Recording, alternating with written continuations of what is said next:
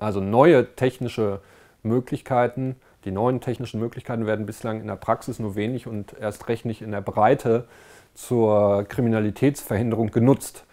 Gemein ist ihnen allen, sei es die heimliche Überwachung von PCs und Smartphones mittels sogenannter Staatstrojaner, sei es intelligente Videoüberwachung oder die Nutzung der Möglichkeiten der Big Data-Analyse zu präventiv-polizeilichen Zwecken. Gemein ist allen neuen technischen Möglichkeiten, dass sie die Gefahr massiver Beeinträchtigungen der Grundrechte mit sich bringen. Für die Online-Durchsuchung zum Beispiel hat dies das Bundesverfassungsgericht bereits vor zehn Jahren erkannt und die Nutzung dieses hochinvasiven technischen Ermittlungselements versucht, verfassungsrechtlich einzuhegen. Das war allerdings zu einer Zeit, als gerade das erste iPhone auf den Markt kam. Die damalige Situation hat sich mit der Digitalisierung, wie wir sie heute kennen, massiv und dramatisch verändert. Es droht im wahrsten Sinne des Wortes aus meiner Sicht eine totale Überwachung des Einzelnen.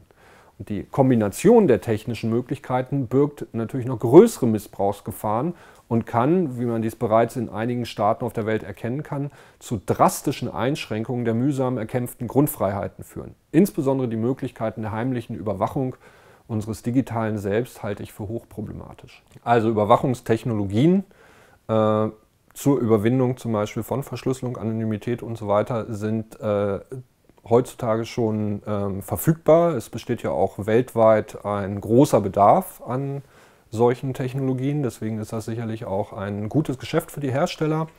Äh, in einem Rechtsstaat hat man aus meiner Sicht ganz erheblich äh, darauf zu achten, dass äh, die, der Einsatz dieser Überwachungstechnologien nur in einem Maße stattfindet, wie, äh, wie wie die Verfassung äh, und insbesondere die Grundrechte der Menschen, insbesondere die Persönlichkeitsrechte der Menschen das zulassen.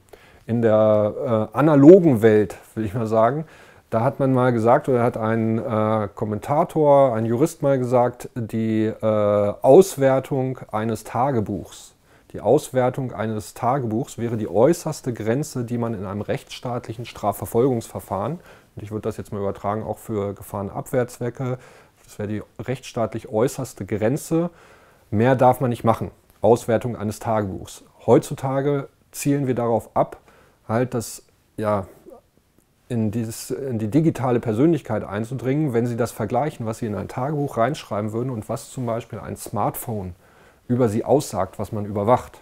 Ja, wenn ich drei Monate lang oder sei es nur zwei, drei Tage lang Ihr Smartphone überwache, weiß ich vermutlich mehr über Sie, als Sie über sich äh, selber ähm, wissen, beziehungsweise was Ihre, zumindest das, was Ihre engsten Vertrauten über Sie wissen.